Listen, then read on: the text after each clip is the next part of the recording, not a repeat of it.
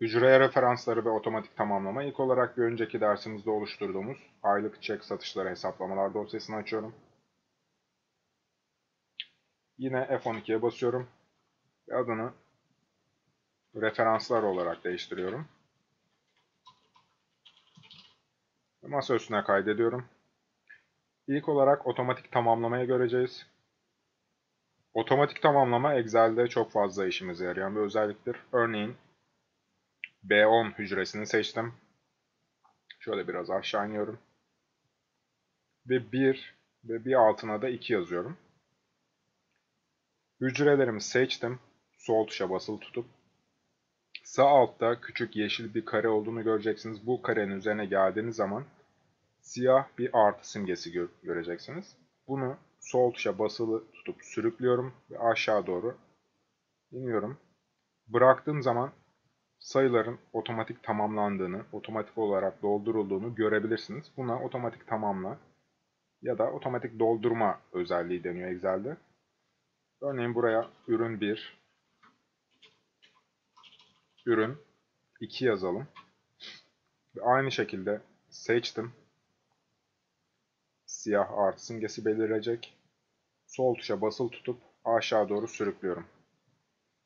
Bu şekilde ürün 1'den ürün 10'a kadar gittiğini görebilirsiniz. Ctrl Z ile geri alıyorum. 10'a kadar dolu olduğu için şöyle seçtim tekrar.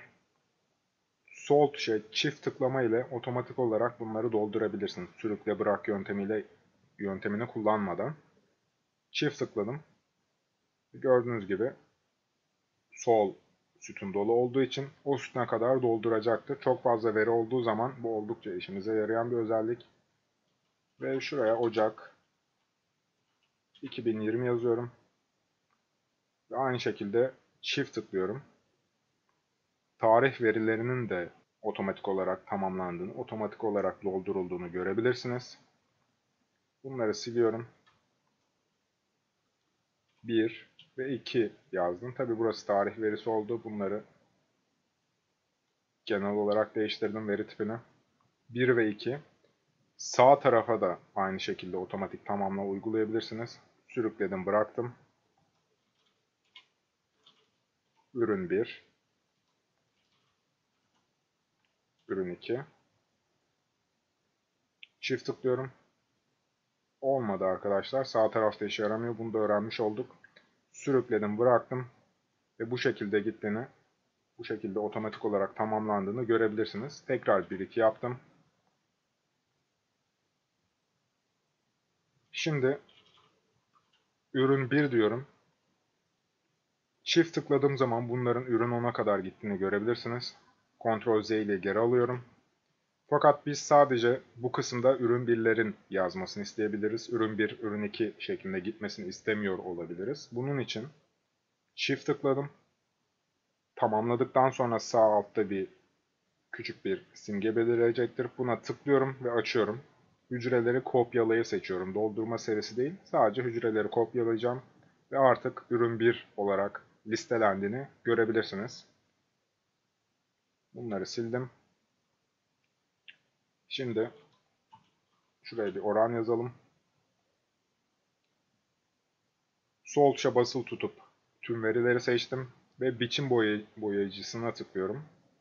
Tıkladıktan sonra yine sol tuşa basılı tutup bu kısımları seçiyorum. Artık aynı biçimde yazıldığını görebilirsiniz. Yine biçim boyayıcısı dedim. Ve yine boş hücremi tıkladım. Fakat bu olmayacak. Ctrl Z ile geri aldım.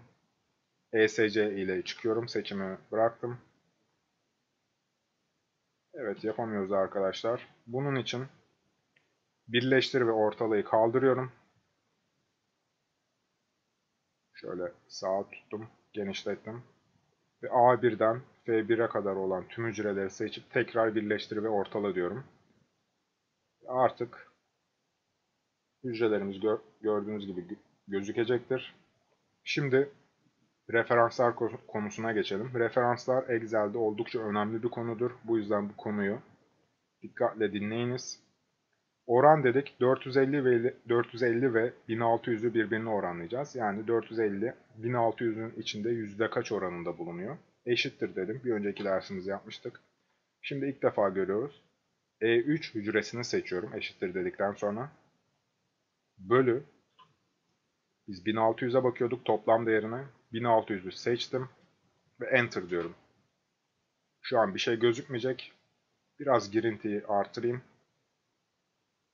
Ondalığını arttırdım. %28 olduğunu görebilirsiniz.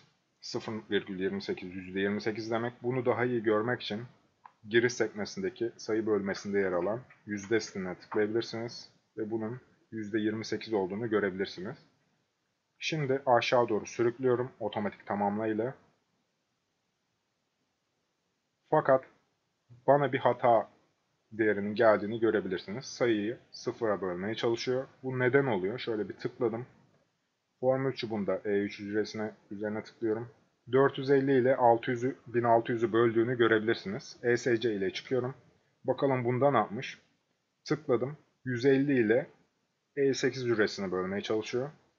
Boş bir hücre. ESC'ye bastım tekrar çıktım. Şimdi alttakine bakalım. 250 ile bir alttaki. Bu sefer E9. Bu şekilde gidiyor arkadaşlar. Şöyle tekrar tıkladım. 750 ile altındaki.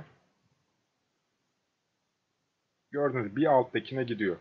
Ya bizim burada yapmamız gereken 450 ile 1600'ü bölmek. Burada sabitimiz nedir? 1600 sayısı. Her seferinde 1600'e böleceğiz. 150'yi 1600'e böleceğiz. 250'yi 1600'e böleceğiz. Ve 750'yi 1600'e böleceğiz. Oranlayacağız yani birbirlerine. Bunun için sabit bir sayı kullanmalıyız. Şu an kullandığımız E3 ve E7 hücreleri özellikle E7 hücresi göreceli bir referans. E7 hücresini sabit olarak belirlemeliyiz. Bunun için Alt, GR ve R harfinin üzerindeki 4 tuşuna basıyorum. Dolar işareti çıkacaktır. Sayının soluna da Alt, GR tuşuna basıyorum. Ve tekrar dolar işaretine tıklıyorum. Enter dedikten sonra yine aynı değeri verecektir. Fakat bu sefer aşağı doğru sürüklediğim zaman artık 1600'ün sabit olduğunu görebilirsiniz. Bunu nasıl anlayacağız? Şöyle çıktım. Geldiğim zaman 1600 sabit. Daima E7 hücresini kullanacak. ESC ile tekrar çıkıyorum. Bakıyorum E7 sabit. Burada da sabit. Son hücremizde de sabit. %100 tamamen. İşte bunu arkadaşlar kesin referans deniyor. Şu kısımları sileyim. Hatta burayı da sileyim. Şimdi tekrar yapalım. Eşittir dedim. E3'ü seçtim. Bölü slash işareti kullanıyorum. E7 hücresini seçiyorum. Bunun basit yöntemi olarak kısa yöntemi, kısa yolu F4 tuşuna basmaktır. F4 tuşuna basıyorum. Otomatik olarak dolar işaretlerini başına koyacaktır. Yani siz tek başınıza manuel olarak dolar işareti yazmak zorunda değilsiniz. F4 tuşuna basın fonksiyon tuşlarından Enter'a tıklayın. Ve çift tıklama ile otomatik olarak doldurun. İşte buna kesin referans deniyor. Her yerde işimize yarar. Örneğin 100, 200, 300 olsun. Şuraya da sabit bir sayı yazalım. 5 olsun. Bunları 5 ile çarptıralım arkadaşlar. Eşittir dedim. 100 çarpı K1'i seçiyorum. Fakat K1 sabit olacaktır burada. Eğer bunu sabit seçmezsek sürekli altına gidecektir. K2, K3 hücresini seçecektir. Hatta yapalım eşittir diyelim. Çarptırdık. Gördüğünüz gibi boş bir sayı çıkacaktır. Bunları siliyorum. K1'i sabitlemek için F4 tuşuna basıyorum. Bastım. Artık sayım sabit.